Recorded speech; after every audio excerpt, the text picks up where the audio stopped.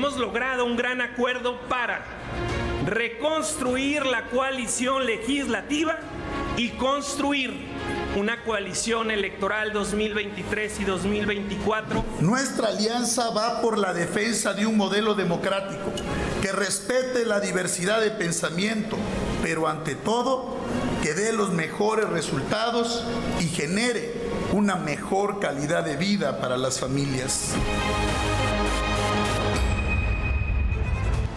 Bueno, ahora sí, ya más que confirmado, ya los escuchamos, está PAN, PRI, PRD, Irán en coalición para la elección a gobernador del Estado de México y también en Coahuila, esto durante las elecciones que se llevarán a cabo este año, pero también lo harán para el 2024. Sin embargo, lo harán con ciertas condiciones. El partido del tricolor, bueno, será el encargado de llevar el proceso en las elecciones estatales, mientras que Acción Nacional lo hará en los comicios del 2024. 24 en dos en dos partes. Una es la jefatura de gobierno y otra es la presidencia. Veamos qué va a pasar también en los estados y en los, eh, sobre todo en el Congreso de la Unión, que también hay un cambio y una renovación total. Así que bueno, vamos a conocer los detalles.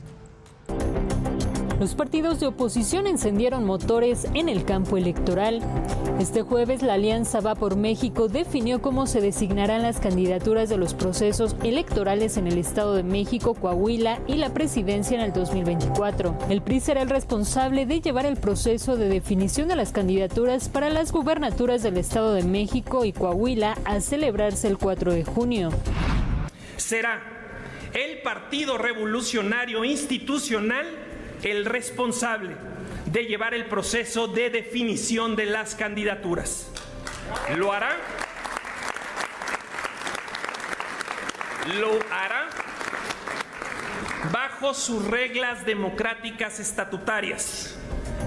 Mientras que los panistas serán los responsables de definir los candidatos bajo sus reglas estatutarias para la presidencia de la República y la jefatura de gobierno de la Ciudad de México será el Partido Acción Nacional el responsable de llevar el proceso de definición de las candidaturas bajo sus reglas democráticas estatutarias,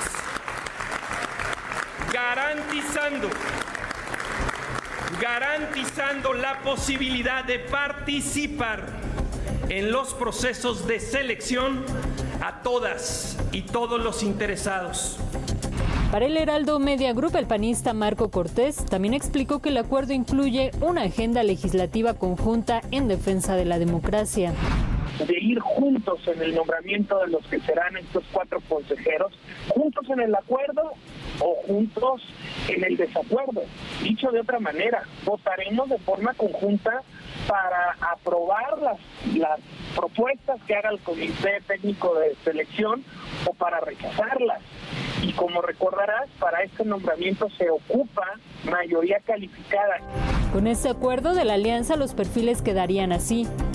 La priista Alejandra del Moral en el Estado de México y por Coahuila estaría el priista Manolo Jiménez, la senadora panista Xochitl Galvez, el alcalde Santiago Tabuada Margarita Zavala y la vicecoordinadora de los senadores Kenia López Rabadán son los que han manifestado su intención de contender por la jefatura de la Ciudad de México. Mientras que Maru Campos, Mauricio Vila, Mauricio Curi, Juan Carlos Romero, Santiago Krill Miranda y Ricardo Anaya han expresado su interés por la presidencia de la República. Verónica Macías, Heraldo Media Group. Bueno, mire, si este año las cosas van a estar interesantes en estos dos estados, yo quiero decirle que también se pondrá muchísimo más interesante del 2024, en donde, bueno, pues como ya escuchábamos, aunque algunos... Eh, algunos partidos van a definir en esta alianza, en el caso del PAN, va a definir en la Ciudad de México y la presidencia de la República. Bueno, al interior del propio partido todavía hay muchos intereses y hay muchos apuntados. Así que ya le estaremos comentando aquí y le estaremos dando a conocer esta ruta 2024, cómo se va a llevar a cabo. Por lo pronto tenemos en puerta ya el 14, el sábado, arranca ya las precandidaturas de manera oficial en el Estado de México y en Coahuila y esa ruta, que es la 23, aquí la estaremos siguiendo. El Partido Verde, Morena y el Partido del Trabajo van en esta otra alianza junto eh, a Delfina Gómez, que va para el, por el Estado de México, y bueno, pues ella va a encabezar esta, esta alianza. Ahora, hay que decir que después de 15 años, finalmente el Verde no va a apoyar al PRI en estas elecciones y se va con Morena. Hablando del Estado de México, claro que el Verde ha sido un gran aliado a partir del 2018 con Morena. Gerardo García tiene todos los detalles. Gerardo, ¿cómo estás? Gerardo, ¿me escuchas? Buenas noches. Muy buenas noches. Yo sí te escucho, Gerardo. Sí, muy buenas noches. Te saludo a ti, Sofía, y también al auditorio. Como bien lo adelantas, el Partido Verde Ecologista en el Estado de México confirmó que irán en alianza con Morena y PP en la gubernatura eh, del 4 de junio con la consigna de que se logre la, la alternancia en la entidad tras más de 90 años de no pasar. Tras eh, varios eh, días de suspenso, el dirigente estatal José Alberto en Montello aceptó que no es un momento para concretar su aspiración electoral e informó que en la consulta que se hizo a, su base, el 73% respalda la determinación. En esta eh, hay que destacar precisamente que también lo que indicó es que se sumarán a la precandidata de Morena, Delfina Gómez Álvarez, en quien ven una animalista y medioambientalista, además una mujer cercana a la gente y de palabra con quien también coinciden buscar en el bienestar de los más vulnerables. Vamos a escuchar aquí y a, escuchar parte de este mensaje que dio el dirigente del Verde Ecologista. El Partido Verde en el Estado de México buscará construir una alianza electoral y de gobierno con la maestra Delfina Gómez. Los verdes Estamos convencidos que en este momento lo más responsable es garantizar la gobernabilidad del Estado de México en los próximos años.